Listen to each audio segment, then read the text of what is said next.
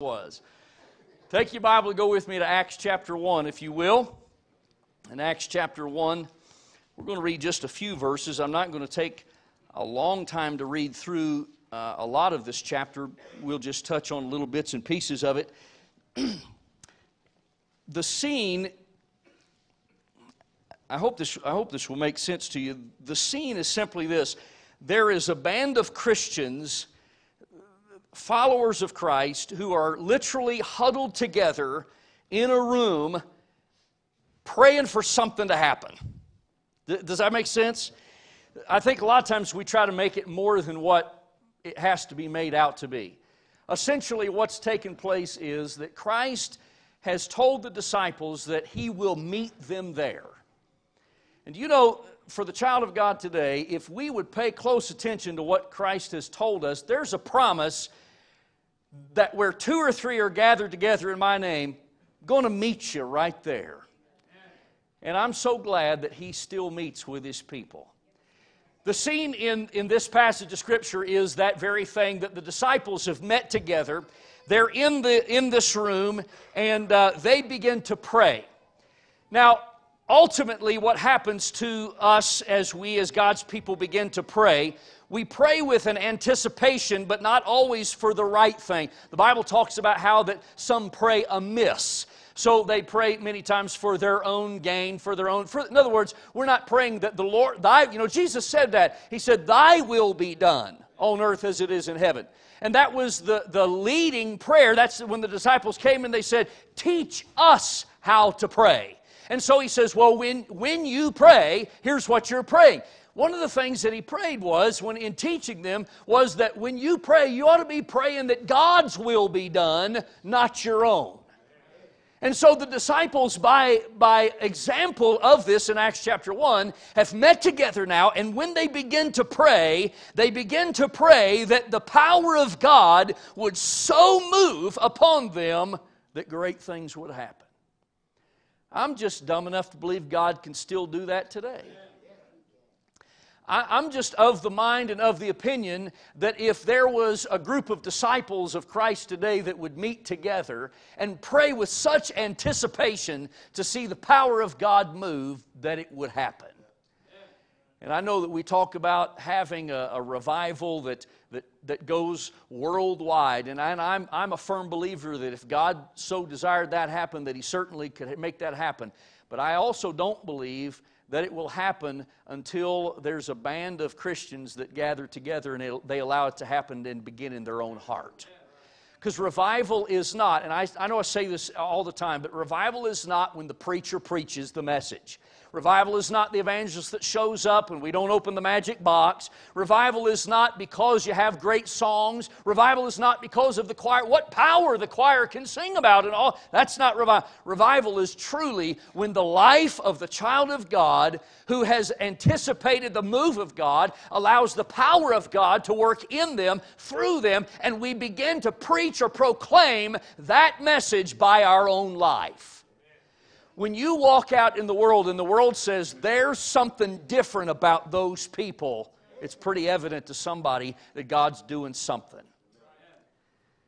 When we pray, and I've heard this said several times, Lord, I pray that my life would not just be a, a depiction of Christianity, would be a, be a depiction of Christ. Because let's face it, the world has got a multitude of definitions of what Christianity could be or possibly might be today. And I think that if we would start relaying the message of Christ once again, that real revival could take place. Something happens in the book of Acts that changes the whole scenario of what goes on. It's not just the fact that they met to pray, because certainly they do that, and we'll read a little bit about that tonight. They do meet to pray, and I also believe that they did anticipate God to do so. I mean, He promised He's going to show up, and He certainly does.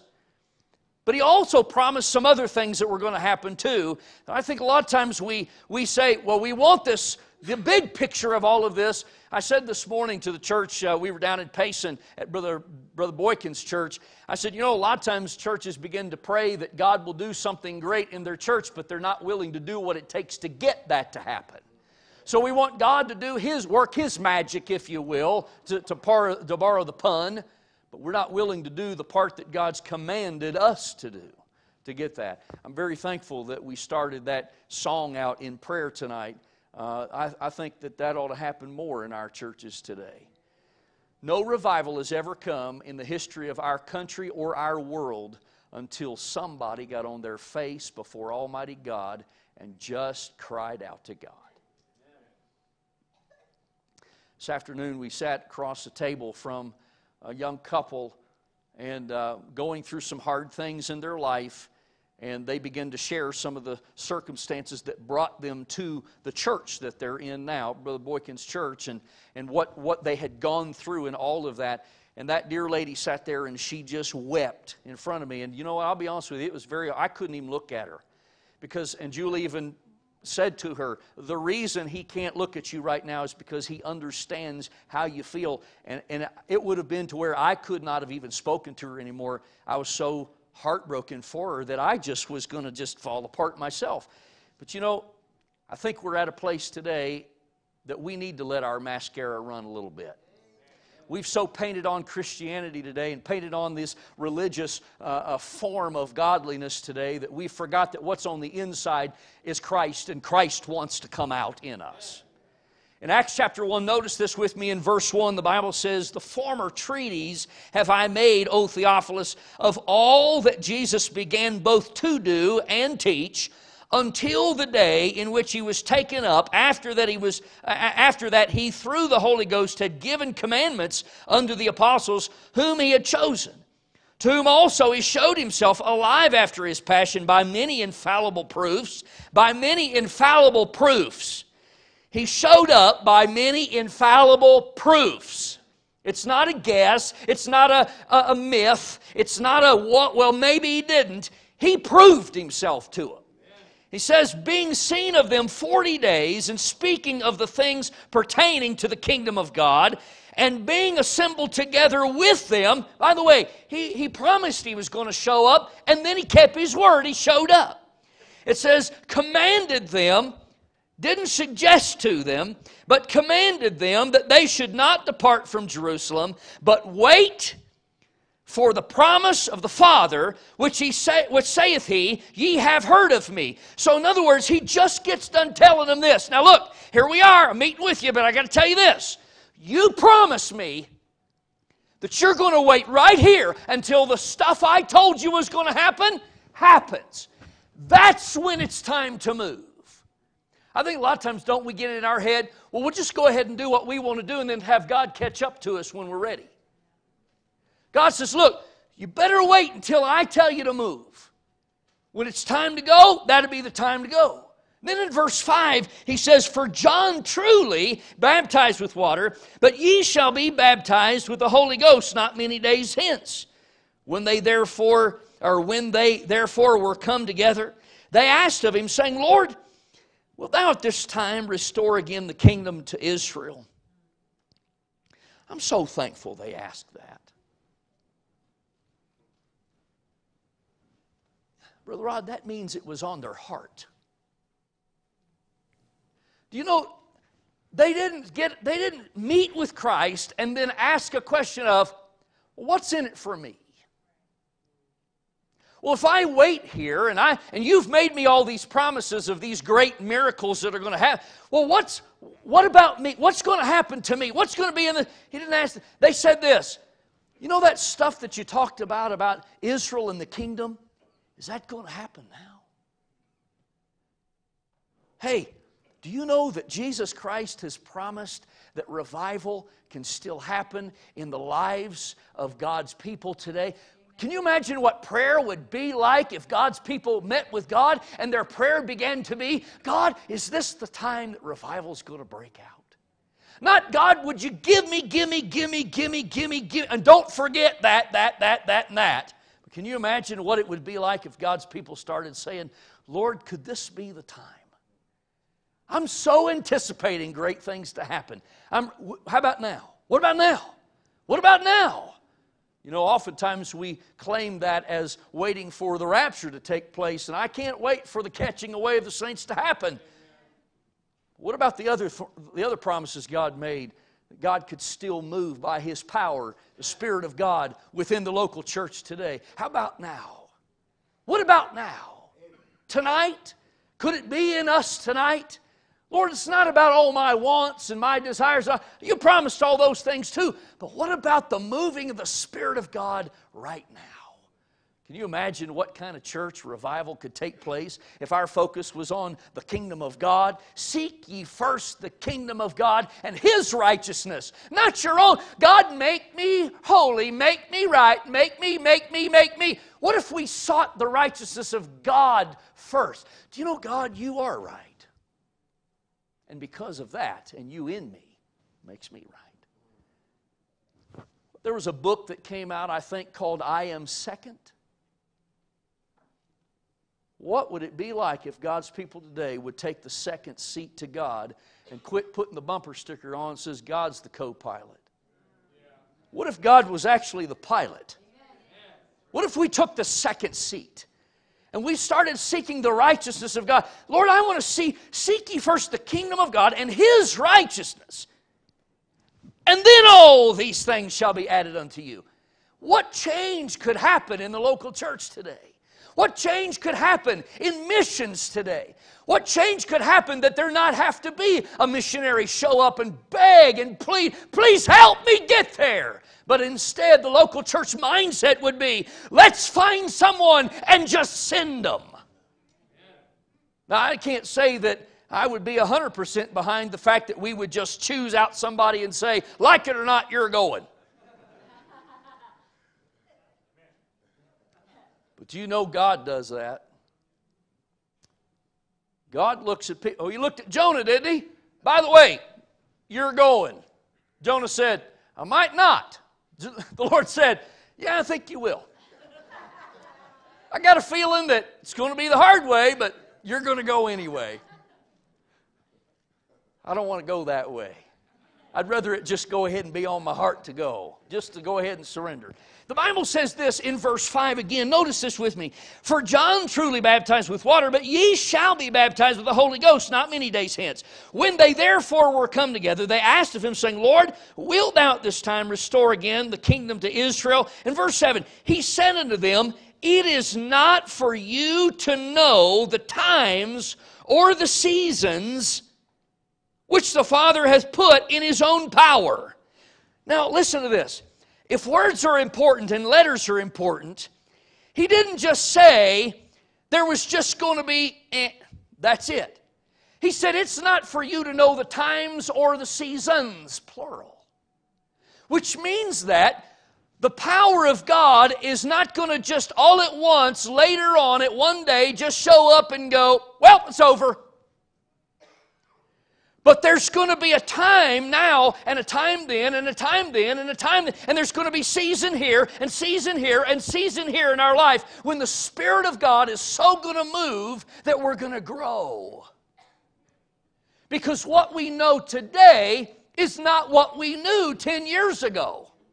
What we know today, we've grown in the power of God, and we begin to move forward in our growth in the local church.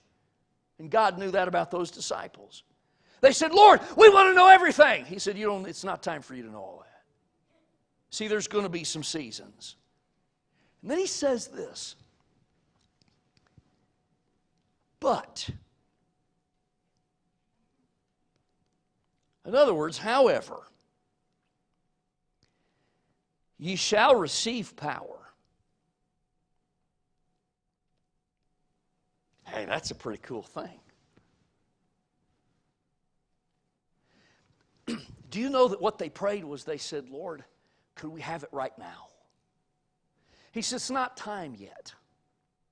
All that stuff about my kingdom and all, it's not, it's, it's not, you don't need to know all that, right? It's not time for you to know all that. However, I want you to know this you're going to get power. That gives us something to look forward to. These disciples are not going, well, that's it. You know, it's not like a to be continued thing, it's a promise. Right now, this is what you know, but you're going to get the answer. He says, but Ye shall receive power after that the Holy Ghost has come upon you. Ye shall be witnesses unto me both in Jerusalem and in all Judea and in Samaria and unto the uttermost part of the earth. Remember, before this, he just got done telling them, now look, you promised me you're going to stay here. You read that. You promised me you stay right where you are until the Holy Spirit comes on you. But when that happens, I promise you this you are going to have the power to take this message not just to the Jews, but also to the Gentiles, to the Samarias, to the uttermost part of the I'm so glad that Jesus Christ saves to the uttermost. You know, you probably heard it too, but there was a preacher that preached a message entitled From the Guttermost to the Uttermost. You could turn that right around and preach about the prodigal son just opposite, from the uttermost to the guttermost, and then back again. Man, I'm glad that's the God we serve. Would you look down with me a little bit farther? The Bible says, verse 13, when they were come in, they went up to an upper room where abode both Peter and James and John and Andrew and Philip and Thomas, Bartholomew, Matthew, James, the son of Alphaeus, the son of Zelote, Simon Zelote, uh, Simon Zelotes, and Judas, the brother of James. These all continued with one accord in prayer and supplication with the women and Mary, the mother of Jesus, and with his brethren. Here's an interesting thought before we go on you know that everybody, minus one, everybody that I've read in those names right there, all have a very shady past. All except Mary, the mother of Jesus.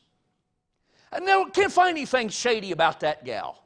Must have been a reason that God chose her. I'm not saying she's perfect, she's still flesh and bone, but I know this there was something that set her apart from all the others. But I can sure take you through the Bible and show you there's a whole lot of mess in everybody else's life. And yet, those are the very ones that Jesus said, You guys are the ones going to get the power.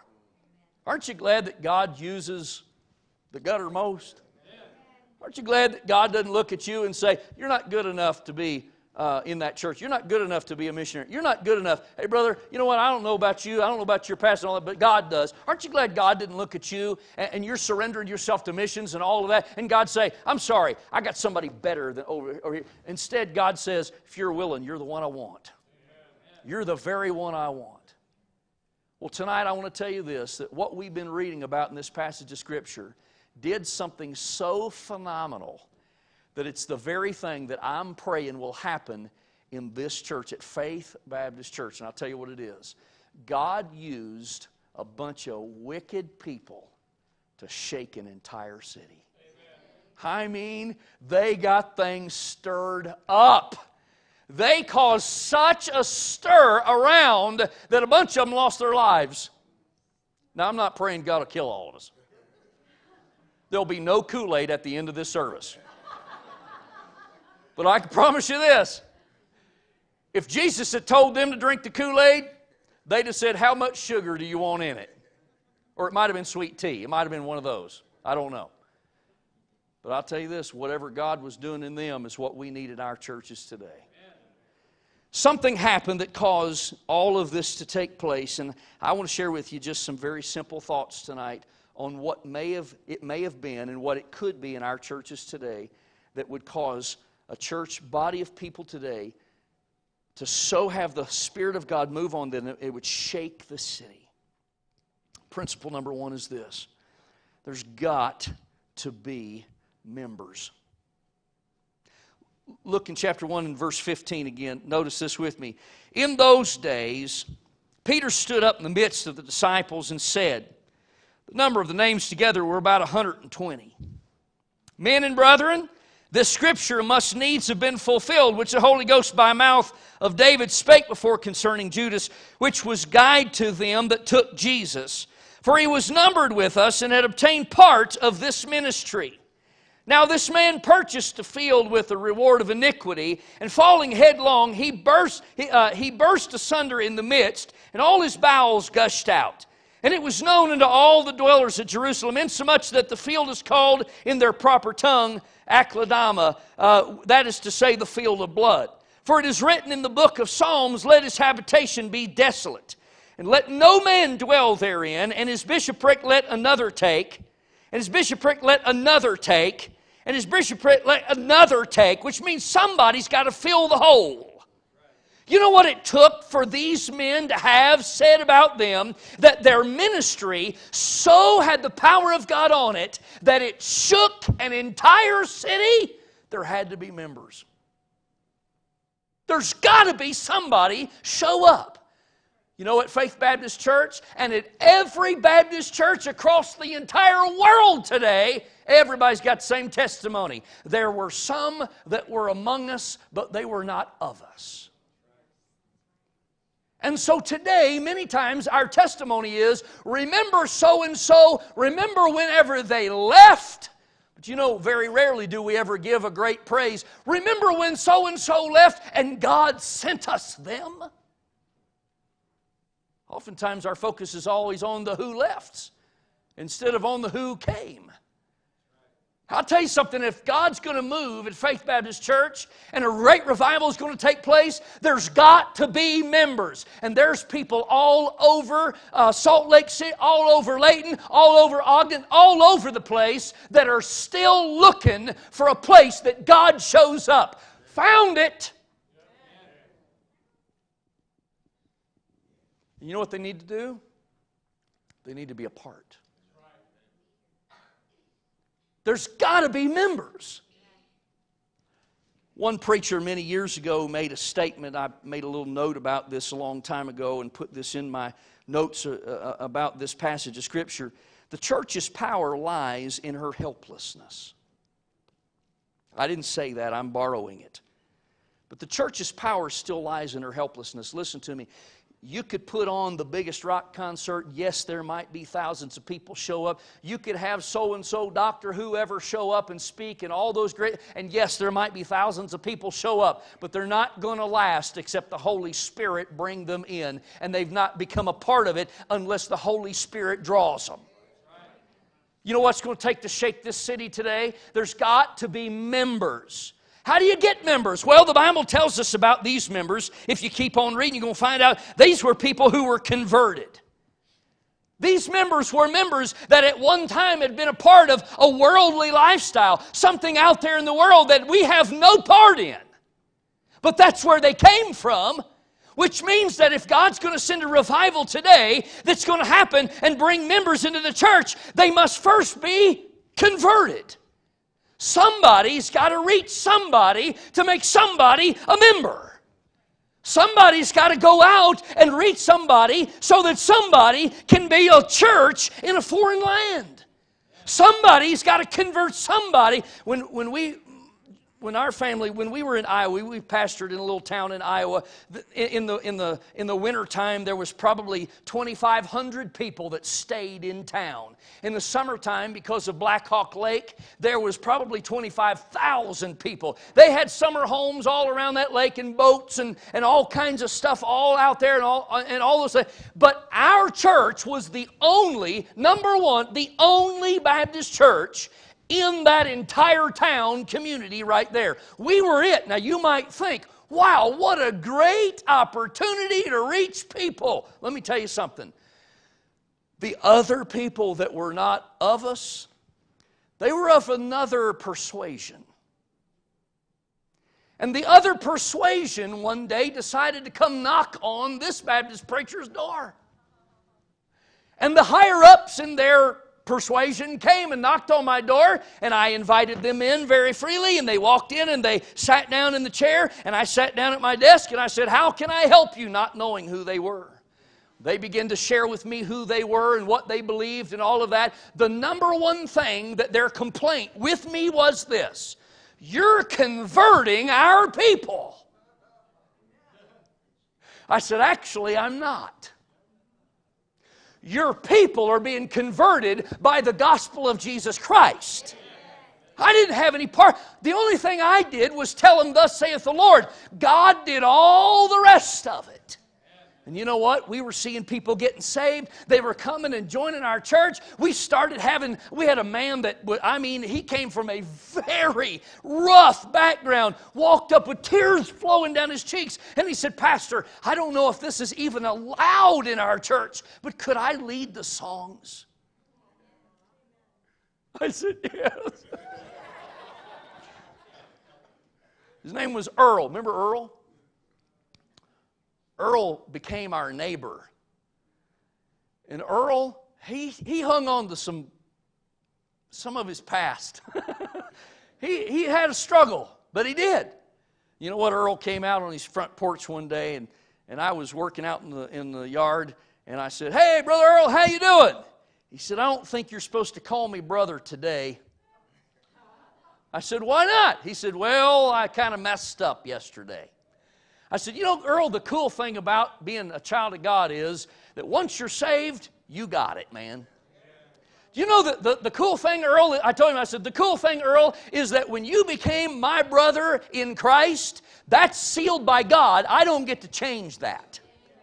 He said, You, you mean it? I said, Yeah, I mean it. Do you know that the next Sunday when Earl led the songs, he even moved his arms? Earl was the kind of guy that would lead a song like this. Okay, let's all stand and turn to page 175. Let's sing the first, second, and last verse. And he never would look up. I mean, that next Sunday, Earl was standing there and he had a big grin on his face, missing, missing half of his teeth, you know. He literally had a tooth brush. Just one. That was Earl. And Earl, and when he would say certain words, you could hear the S. You know, he would say, saved by his power divine, saved to new life. And I'd, I'd sit on the front row just so I could listen to the part, you know. And that was Earl. But Earl was sitting there with a big toothy grin, just waving his arm, just having a blast. You know why? Because he'd been converted and he got it. I think that revival will happen today if we see some people become members by conversion. Not join a club, but by the conversion of the Holy Spirit in their life. I think not only were they converted, but I think they're committed. Do you know the word committed means this? It means to devote oneself unreservedly. In other words, no strings attached. You don't get to tell God, now look, I, am going to be all in, except for if you don't do this, I'm backing out. You're either in or you're out, or you ain't. I know that's bad English, but I'm saying anyway. All right? So to be converted and to be committed means it's there's no reserve. There, there is no, well, I'm only to this limit. But instead, you say, God, I am a part of this family. I am all in in this thing, and you have my commitment fully committed unto you, Christ. I think revival happened. I think that they were members, got to be members. They were converted, they were committed. Here's an example. I don't know the general's name, but there was a general in the army maybe 50 years ago. He led his men on a boat over to an island to take it captive. The crew of men that he had couple of hundred men, armed, ready. They watched as that ship drew closer and closer and closer to the sand where they would have to get out and run ashore, preparing mentally for what was about to take place and not knowing truly how it was all going to turn out. And as they got closer and closer to that shore, that captain, that general turns around to those men and he tells them, he says, Now, gentlemen, you get off this boat as fast as you can, and I'll meet you on that sand. And he did. They all unpiled out of that boat. They went through the water. They held their guns high. They made it over to that sand and they stopped as if to have a pep rally. The general turned to him and he said this Burn the boats. They said, Burn the boats. He said, I said, Burn the boats. That's a command. They said, Sir, What if we don't overthrow these men? How shall we escape if we don't have a boat? He said, I didn't come here to lose this battle. Burn the boat. You know what? There's a whole lot of Christians that still got a boat in their water. You know what it's going to take to see that kind of moving of the Spirit of God once again in our churches today? We're going to have to look back one last time and say, you know what? All that stuff that's held me back, burn the boat. I'm not going back any longer. I'm always going forward for God. I'm not looking back to go, what if there is another way? I'm telling God, I'm all in. I'm a member of this thing. I'm a committed member of this thing. I'm going to be a part of what God is going to do. By the Holy Spirit's power, I'm all in in this thing. Burn the boat. You know what? They won that. Many men left out of that battle rejoicing in the fact that they had won. One man talked to a news reporter, and this is what he said I didn't know if we would win or not. All I knew was that my leader said to burn the boat and that we would. You know, it's not for you to know the times. It's not for you to know the seasons. It's just for you to know He said it can happen. So let's burn the boat and let's go on for God. Amen. I believe this.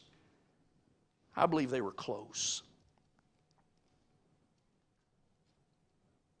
John chapter 13, I know that Pastor Bickel uses this a lot, and I think it's one of the greatest verses to ever be brought out in John chapter 13. By this shall all men know.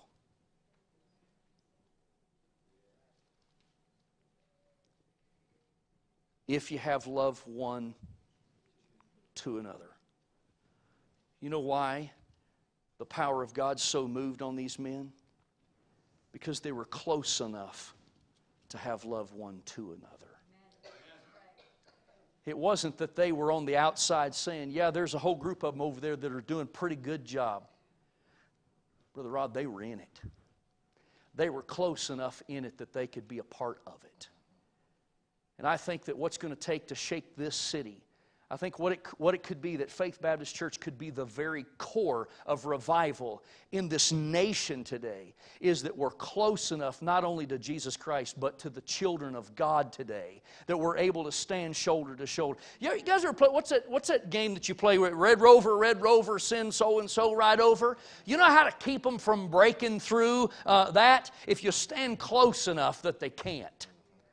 And I think all too often we've stood back and we've said, Oh, Satan, oh, Satan, send your power right over. And here he comes. You know what it's going to keep to keep him back? It's got to be some Christians that are standing shoulder to shoulder, elbow to elbow, knee to knee, standing there in the power of God because we're members of this thing. We're converted members of this thing. We're committed members of this thing. And I think we better be close enough that we can be called members of this thing. I think God's power could once again move, and I want to be a part of that. I think not only we're their members, but I think there's got to be miracles. Would you look with me in chapter 2? In Acts chapter 2, in verse 2, the Bible says this And suddenly there came a sound from heaven. Hey, Brother Russ, here it is. Here's the song. Suddenly there came a sound from heaven as of a rushing mighty wind, and it filled all the house where they were sitting. I hear the sound of a mighty rushing wind, and it's closer now than it's ever been. I can almost hear the trumpet as Gabriel sounds the horn at the midnight cry. Hey, you know what? I don't know really what that all is going to look like. I just know this I'm going to be a part of it. I'm going to be a part of that. And it's close. Man, is it ever close. Don't that make you just want to shout? Why don't you? Hey, we've lost that. We've lost that shout. We need to get that back. We ought to get that back. Listen, I think that there ought to be miracles. If we're going to shake a city, got to be some miracles. The Bible says here that the power of God came, and when it came, it says it came as a, as a rushing mighty wind, and it filled all the house where they were sitting. Listen, it came suddenly. It didn't come as, as this little bit of a, of a breeze every now and then. The revival's not going to come as this little bit here, little bit there. I think if revival's going to come when God's people become those kind of members and they're committed and they're a part of all of this, I think revival's just going to show up. And when it happens, we're going to say, that's what we've been praying for. That's the kind of moving of the Spirit of God. That's the Holy Spirit moving at Faith Baptist Church. I want to be a part of that. I want to be around when that kind of stuff happens. I think it didn't come little bit by little, I think came sudden. The Bible says it came sudden. I think it came forcefully too. There's a, I'm, I like, I'm a, I'm a, uh, a YouTuber. Y'all know what that means? It means that at night when you can't unwind, means you lay in your bed with your phone, watch YouTube videos. I'm a YouTube. I like to watch YouTube video. I mean, I've laughed at some of the dumbest people. I'm telling you what. You can't jump from that building to that building. It's too far. You're going to fall down and break your crown and all the rest of that rhyme. I've laughed at all them kind. Of, I'm a YouTube. I like to laugh at YouTube videos. I do. I, I watch YouTube videos and all that kind. Of, you know what I found about about YouTube videos and how it applies to this? They've got this video about being forceful. I watched it, found it. It's this video about being forceful. And this guy claims, he's a martial artist, he claims that he has such a power in his punch that he doesn't even have to touch you and you'll fall down. This, and listen, they got a whole interview on this guy, he's going on. And I'm laughing, not at the fact that he believes he can do it, but at the fact that there was TV evangelists years ago been claiming that same thing. People falling out all over the oh! you know. I got news for you. You see me at 4 a.m., my breath can do the same thing. I don't even have to touch you. I can say, Hi. Ask Julie, she'll tell you. Yeah. So this guy, this guy claims this, and so he illustrates it he, he says he, he gets these people up in front of him and he, he gets himself ready for this punch. You know, he's got the right stance and he's getting ready. I mean, he's going to push from the hip and, and all this, you know, and he, and he stares them down. It's like he's staring right through them, you know. He's, and he tells them what he's going to do. He says, Now, here's what I'm going to do. He said, at, at, When I say three, I'm going to push my hand, my body is going to put, and I'm going to push so hard that the air between you and me is going to push you so fast that you're just going to fall over. And there was a few people that, you know, he did like that, and they were kind of like bouncing backwards and that kind of thing. Until the one guy that missed the day that they were supposed to practice all this showed up, and he walks up and he's standing there and he's getting all ready. And I mean, this guy goes to punching in the air and ain't nothing happening. So then the video cuts off, and then the news reporter says, Well, we will cut that off right there. You know, not to make the guy look bad. I got news for you when revival shows up and the power of God starts moving, it isn't going to come with some guy pushing a little bit. It's going to knock some people off their feet. And I want to be a part of that. I want to be there when the Holy Spirit so moves in somebody's life that it just lifts them up from where they've been, puts them on that rock, that solid rock, and they're able to look back and say, Burn the boat. I'm going on for God. I want to be a part of that.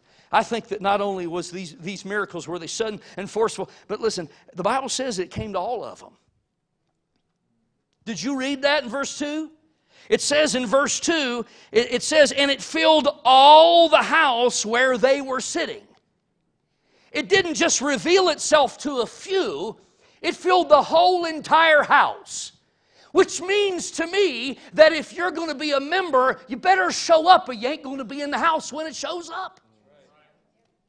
Kind of revival could we see today if young people, you know those young people that you've been talking to, that you've been witness to, and, you, and you've cried about, and you've gone to Brother Rod and said, Pray with me about these young people. I want to see their life change. I want them to have the message that God gave me. I want them to be a part of our youth group. Those young people that, that just came to your mind and all of that, those are the ones that need to see the power of God so move in you that they want to come and be a part of it.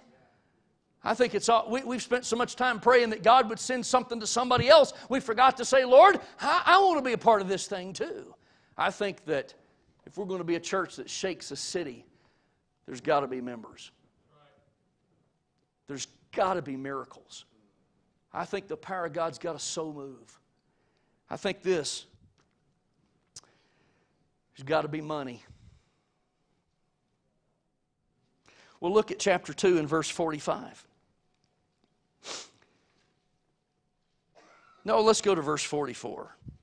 This includes everyone. And all that believed were together and had all things common, and sold their possessions and goods and parted them to all men as every man had need. If there's going to be a church that shakes a city, it's got to happen because there's money. There's got to be money. Listen, if we're going to be that kind of church right there, that the Bible says in verse 44, all that believed were together and had all things in common, then what we're also going to have to have in common is we're all going to have to support it. Then there's going to have to be money. Listen, what it takes to be this kind of church is it's got to be sacrificially given. I don't understand how that we could say, God, you must bless, when we ourselves have, have not been willing to sacrifice in order to see the power of God move. Those disciples didn't step back and say, Well, I, am one of the disciples, and so I don't have to do anything. No, instead, they went out into a community where they were hated and they shared the gospel of Jesus Christ. Many of them beheaded, many of them were crucified, many of them burned. There's got to be a sacrifice in giving, and part of that's money. Missions conference is coming.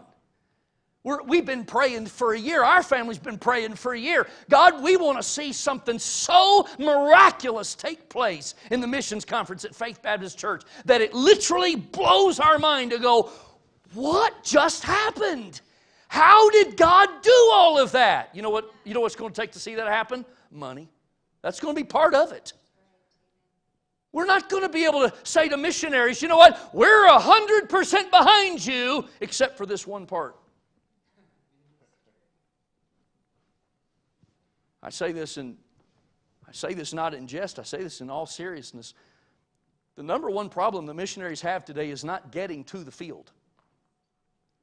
That guy right there, He's not been in Brazil a long time yet and all that, but I can tell you this already about him. He's going to raise his support. If God wants him in Brazil, he's going to raise his support. That's not the problem. Missionary's problem is not getting to the field, missionary's problem is staying there. Because a lot of times it's out of sight, out of mind. And God help us that we have so looked into the face of a missionary and said, I, and listen, we had this happen to us just a few weeks back. A pastor made this very statement about our family. Lost, we lost that support. And I'll tell you why. I'm not, I'm not saying this for, for, for, our benefit, for that missionary's benefit. Listen, he said, I only pay a missionary per letter that he sends. I told the man that eh, member of his church that is a friend of ours when he told relayed the message to me. I said, "Then I don't want that support because it's not support." It's not a heart for missions. It's not a heart for evangelism. It's a heart to say, well, here's a few dollars now, go on your merry way. I'm not interested in that. What I want is, I want to be a part of the moving of God. The Holy Spirit so moves that the miracle of God so happens in a people that they say this I'm willing to get behind what God's doing. And if that means that I have got to give sacrificially, I'm going to give sacrificially. How about the widow and her mite? You know what Jesus said about her? Some of you have given all this, She gave all she had. Listen, it's not about the number, it's about the heart. She gave sacrificially. I think that there's going to have to be money because it's got to come sacrificially, and I think it ought to come liberally. It ought to come liberally. There's going to be missionaries at this missions conference this year that have never experienced Faith Baptist Church. There's going to be a family show up here. There's going to be more than them. There's going to be people that are come. There's going to be visitors from other churches that have never experienced Faith Baptist Church's missions conference. And they're, when they come in, they're going to listen for what goes on in a missions conference at Faith Baptist Church. And you know what they need to hear? They need to hear that these people, these members, are committed and that the miracles of God are going on here and that they are 100% behind those missionaries. And they just gave them what? How did that happen? The power of God does that. That's what needs to happen. Because they gave sacrificially and they gave liberally. And then I think also they gave freely. Nobody had to twist their arm.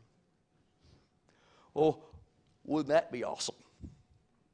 If you never had to ask people to give if you never had to preach on the subject of money, if you never had to say as a missionary, please help me get to Brazil? What if all you had to say was, so and so has a heart for, and they so freely gave that they said, we want to be a part of that. Let's just do it. If God's in this thing, let's just do it. I want to share one last thing with you tonight, and I'm going to close. Listen, I think that there's got to be members and miracles and money. But lastly, I want to tell you this there's got to be a mission. Where there is no vision,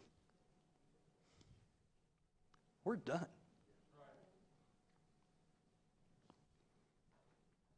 The Bible says in that passage of Scripture, listen to this. They went from house to house preaching that. They didn't wait for a missions conference. They didn't wait till the end of the year. They didn't wait for the new season. Listen, they did this every day. This was so much a part of their heart that they said, I've got to tell somebody what God's doing. And if that means that I die, I die. And if that means that I stand in the face of every other denomination in the world and I have to proclaim, Thus saith the Lord, then I'll do it by myself. And if that means that even some that were with us but they were not of us, if that means that they leave, I'm still going to praise God for who He sent. Because I want to be a part of the church that shakes the city. This is the year to do it. You say, How do you know this is the year to do it? Because you got no promise of another one. And if you don't know you're going to be here next year, then you better get all in this year. Because when that trumpet sounds, you don't want to be standing and saying, I had good intentions, God, of next year, and you came too early. It ought to be, God, I was all in before you got there. And now you've still got all of me. Hey, church, listen to me. We love you. We would not be right in the eyes of God if we did not tell you from our heart and that missionary and every other missionary on the planet and every other evangelist and every other pastor, if you want to add them in too. Listen, we're just waiting to see who's going to take us up on the offer of being the church to shake a city. And if it's not going to be you, I'm going to go to another church and I'm going to tell them the same message. Would you like to be the church that could shake a city? And if it's not them, we're going to go to the next one and we're going to say, How about you? Because we got to find somebody that's so in that they say, uh, That's me. That's me. And I believe it's Faith Baptist Church. I've seen it happen. And I think tonight there's somebody that in their heart of hearts would have to admit, I haven't really prayed that way. And I need to. And I think that there's somebody that says, you know what, I've been praying that for so long, I'm so ready. I just want to see God do it. I want to anticipate God this year more than ever before. And I think He'll do something awesome. Would you stand with me tonight?